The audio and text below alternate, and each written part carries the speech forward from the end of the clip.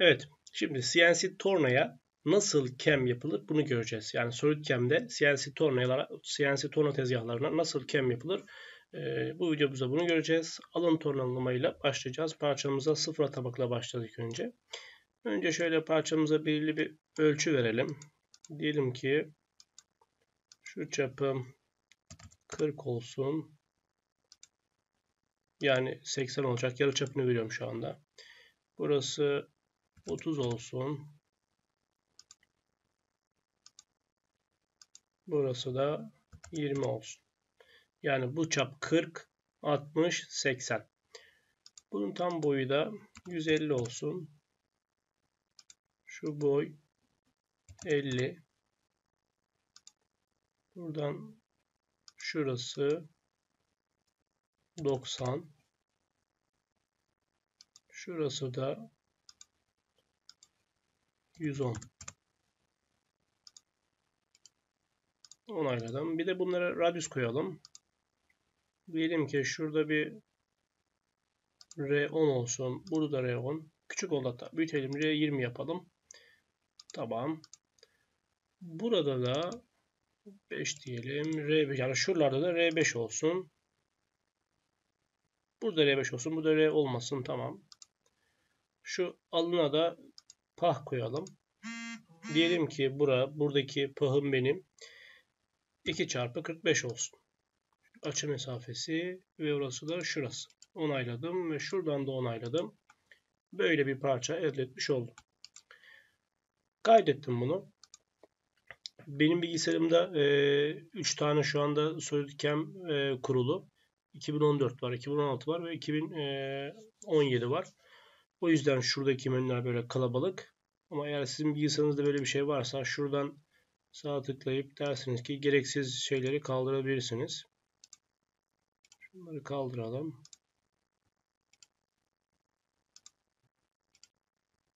Ona kalsın.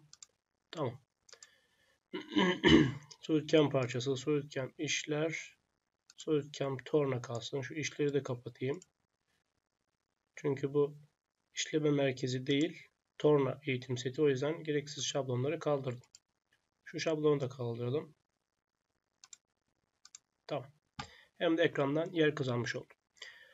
SolidCam parçası ve SolidCam'in e, bütün komutları. Şimdi geliyorum buradan SolidCam parçasından buradan yeni deyip tornalamaya girebilirim. Veya SolidCam yeni torna, e, torna diyebilirim. Burada torna, şurada ise tornalama. Çok problem değil tamam. Girdim. Şu an SolidCam'e giriş yapıyorum.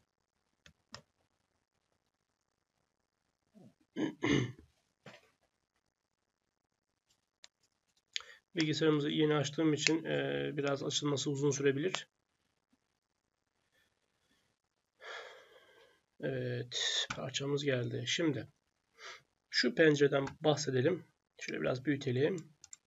Şimdi bu parça bilgisayarın e, masa üstünde kayıtlıydı. Buradaki klasör onu gösteriyor. Şimdi ben diyeceğim ki burada benim e, SolidCam kendisine ayrı bir dosya oluşturuyor ya. O dosyayı diyor ki e, Solid, SolidWorks'ün unsur ağacında mı e, oluşturayım yoksa SolidWorks'ten ayrı bir data olarak mı oluşturayım? Ben e, her zaman ayrı bir data, dış e, kayıt yapmasını istiyorum. Sağlık olan bu. Sizin de bunu yapmanızı tercih ederim. Şurası ise bu modelin nerede kayıtlı olduğunu ve e, SolidCam'in oluşturduğu CAM dosyasını nereye kaydedeceğini soruyor. Ben diyorum ki e, bunu işaretlemezsem eğer bu katı model masa üstünde olur. SolidCam'in oluşturduğu dosya başka bir yerlerde olur. E, ben bunu istemiyorum.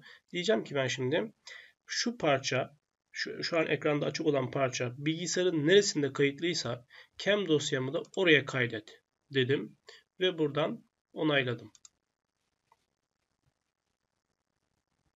Şurayı çekelim gene. Buradaki tezgah adı dediği kısım bizim e, tezgahımızda şey atölyemizde hangi tezgah varsa buradan onun postunu seçiyor. Sizde Fonuk varsa Fonuk seçin, okuma varsa okumayı seçin, Mitsubishi varsa Mitsubishi seçin, Haydenay varsa Haydenay seçin. Hangi kontrol ünitesinde e, G kodu alacaksanız buradan onu seçiyorsunuz. Buraya biz post diyoruz. E, okuma var. e, ve dedim ki sonra referans noktası bu parçamın benim tezgahımdaki referans noktası e, şöyle şu alın olacak. Alının olması için de şu çapa dokundum. Silindirik çapa dokunuyorum. Dikkat edin. Alına değil. Silindirik çapa dokundum. Ee, siz silindirik çapa dokunsanız dahi gidip köşelerde bir yer alıyorsa eğer şurayı dönme merkezi seçin. Şurayı. Sonra bakın benim sıfırım şurası olacak ama sıfır arka tarafa gitti. Diyorum ki şuradan tersine çevir ve onayladım. Artık parçamın sıfırı burası. Hedef modelim yani bu parça bana nasıl gelecek? E, dokundum şöyle parçama bir kere. Dedim ki bu parçanın şöyle alından bakayım. Bu parçanın şu alnında 5 mm poson var. Tamam. Şu arka tarafta ise ayakların tutması için 50 mm yaptım burayı. E, parçamın dış çapında da 5 mm poson var. Tamam. İç çapa bir şey yazmıyorum çünkü parçamın içi delik değil zaten. Ve başka hiçbir işim yok. Onayladım. Hedef modelime geldim şimdi. Hedef modeli demek parça bittikten sonra hangi şekle gelecek demek. Diyorum ki parça bittikten sonra aha da bu şekle gelecek ve seçtim parçamı. Burada algılandı bakın. Göster dersem parçamın işlendikten sonraki halini görebiliyorum. Bunu da onayladım. Artık SolidCam bana bu takımımın dolaşacak olduğu hatları otomatik olarak çıkardı. Şimdi burayı da onayladıktan sonra artık cam yapmaya geçiyoruz. Şu çizgiyle çok fazla işim yok. O yüzden bunu gizle dedim. Şimdi şu hatlarda biz cam yapacağız. Yani e, takımımızı bu hatlarda dolaştıracağız. Dolayısıyla e, gelip şuradan e, diyeceğiz ki tornalama. Tabii biz ilk başta alın tornalama, tornalama komutuyla başlayacağız. Alın tornalamada ise şu hattı kullanacağız. Vesaire vesaire. Neyse. Böyle bir parçamız var ve şimdi geleceğiz SolidCam'in alın tornalama komutunu görmeye. Geliyorum buradan alın tornalama. Şunları ben az önce kapatmıştım ama SolidCam'in içerisine girdiğim zaman gene kapatmam gerekiyor. O yüzden buradan gene kapatalım şunları. Bu sizde böyle olmayabilir. Benim bilgisayarımda e, birden fazla SolidCam versiyonu kurulu olduğu için bu var. Normalde e, ilk kurulumda çıkmayacaktır böyle bir e, problem. Tamam. Alın tornalamaya. Bakın torna e, toolbarı aşağıda aktifken buradan da girebilirim. Veya işler üstüne şu taraftan işler üstüne sağ tuş buradan tornalama ekle alında deyip giriş yapabilirim. Şimdi böyle bir pencere geldi karşıma. Şuradan diyorum ki yeni takımın dolaşacak olduğu e, şeyi seçmem lazım. Yani takımın e, alında nerede kesim yapacaksa o geometriyi seçmem gerekiyor. Diyorum ki orası da aha burası. Seçtim ve bakın şöyle yaklaşırsam şurada sarı bir çizgi olduğunu göreceksiniz ve şurada da kırmızı bir ok var aşağı doğru. Şimdi dedim ki ben bunu seçtim, onayladım. Buradan da onayladım. Şuradan geometriyi düzelt diyorum. Şöyle ortalayayım biraz. Bakın burada e, tanjant e, seçili olduğu için ve buradaki Stoger'i otomatik olarak uzat dediğim için ve aynı şekilde şuradan başlangıcına ve sonuna e, öteleme miktarı da verebilirim. Şimdi otomatik uzat dediğim için ben burası şu parçamın şurasının stok olduğunu görüyor ve burada da stok geri otomatik olarak uzat dediğim için takımımı parçamın stok parçamın üstünden başlatıyor. Ben diyorum ki benim parçamda bir miktar salgı falan var. Salgılı dönebilir. O yüzden e, zarar vermesin takımıma. Diyorum ki buna göre bir e, 5 milim daha yukarı al dedim. Tabii şuradan şunu kaldırmam gerekiyor bunun için. Stoğa göre uzatı kaldırdım. 5 milim değil 55 e, milim dedi. E, çok fazla oldu. 50 milim. Bu da fazla oldu. 40. Bu da fazla. 30. E, 35 diyelim garanti olsun. Tamam. Şu noktadan itibaren 35 mm yukarıdan başladı ki salgılı dönen parçam takımı kırmasın. Aynı şekilde alın tornalama yaparken şu aşağıda tam parçanın merkezinde meme bırakabilir. O yüzden meme bırakmaması için de diyorum ki eksi 2 mm aşağı insin dedim. Ve şöyle yaklaştığım zaman şu an burada görünmüyor tabi. Doğrusal diyelim. Şey tanjant.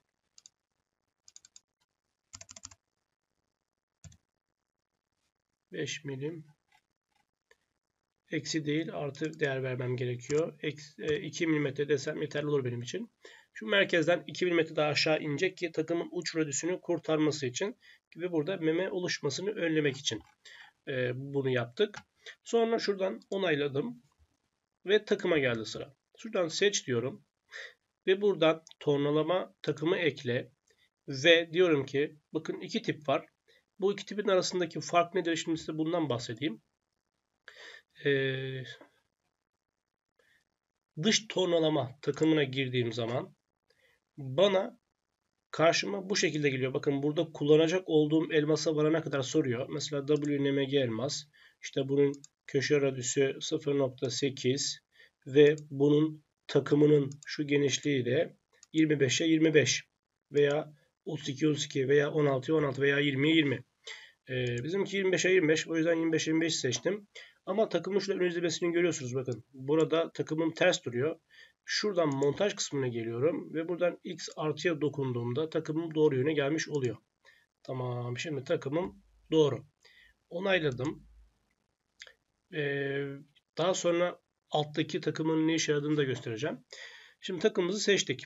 Bilgisine geldim. Dedim ki ben bu takım e, şey e, ayna e, diyelim ki 800 devirle dönsün. Finish devri de 1000 devirle dönsün. Tamam. Kabadaki ilerlemem 0.25 çok pardon. Ee, tamam burası tamam. Finish ilerlemem de 0.1 olsun. Takımımın kesim yapacak olduğu kenar şu 3 numara dediğimiz yani şurası. Soğutma sıvısını buradan açabilirsiniz isterseniz. Tabii bunun için postun ayarlı olması gerekiyor. Sonra pozisyon değiştir dediği kısım ise hani bir takımın şöyle yapalım. Şuraya çift tıklayınca pencere küçülür. Çift tıklayınca bir daha geri açılır. Tıkladım çift. Şimdi oradaki yani şuradaki parça ayarından bahsedeceğim. Yani ne anlama geldiğinden bahsedeceğim. Şunu kapatayım. Buradaki parça ayarı dediği şu takımın burada en son işi bitiyor da geri gidiyor ya. Bir sonraki takımı çağırırken taret ne tarafa gitsin yani ne kadar öteye gitsin diye belirttiğimiz kısım. Bunu biz eğer parça ayarına bırakırsak ve postumuzu da işi bittikten sonra işte G28 U0 W0 dersek evine de gönderebiliriz. Veya gelip buradan e, Z'de atıyorum işte şu konuma şuradan tabii kullanıcı tanımı vermemiz gerekiyor ilk önce.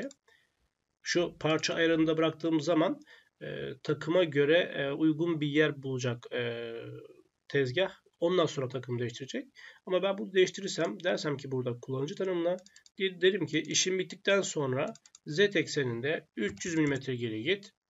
X ekseninde ise 250 mm yukarı çık. Ondan sonra takım değiştir diyebilirim. Ben bunu parça ayarında bıraktım. Seviyeler Emniyet mesafesi 2 mm.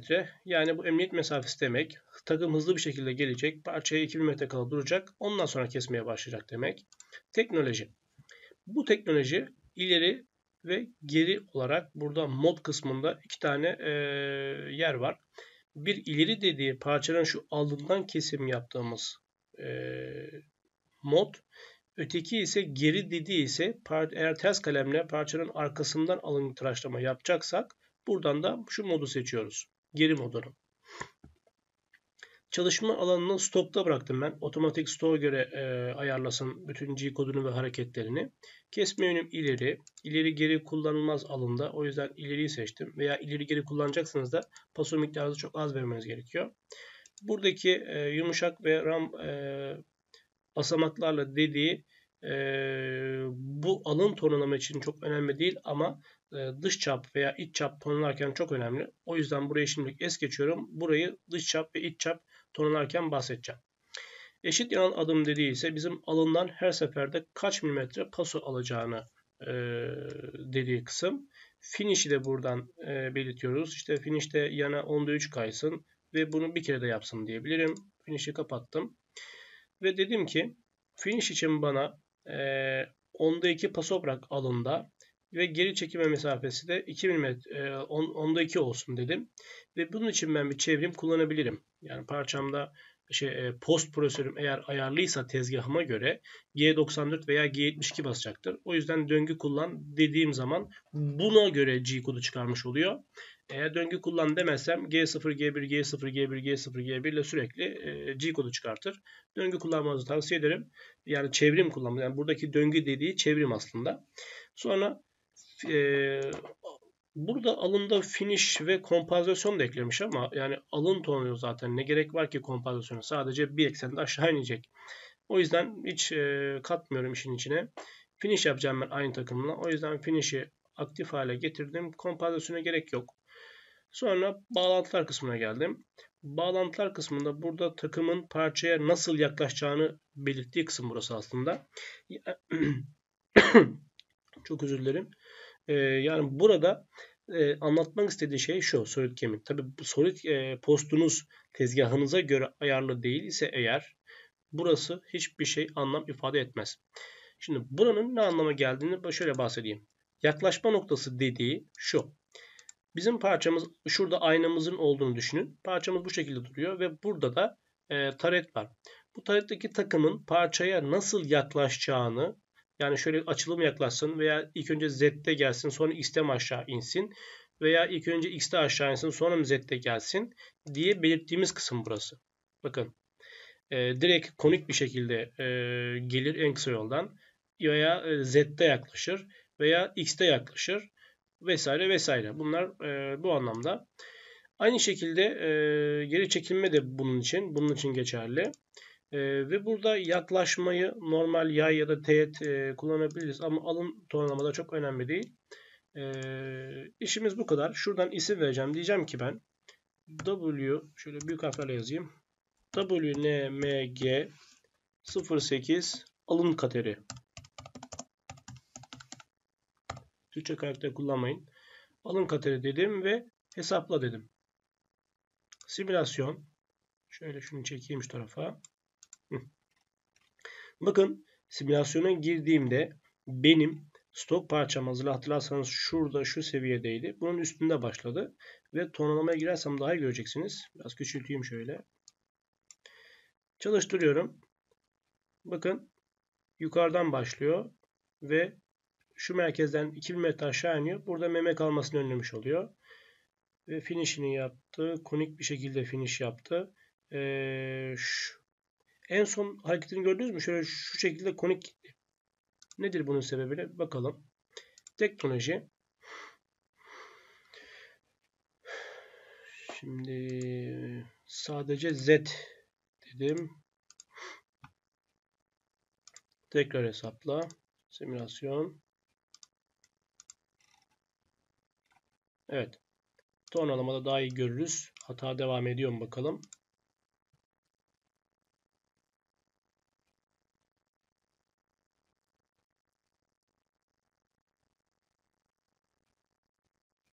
Evet hata gitti.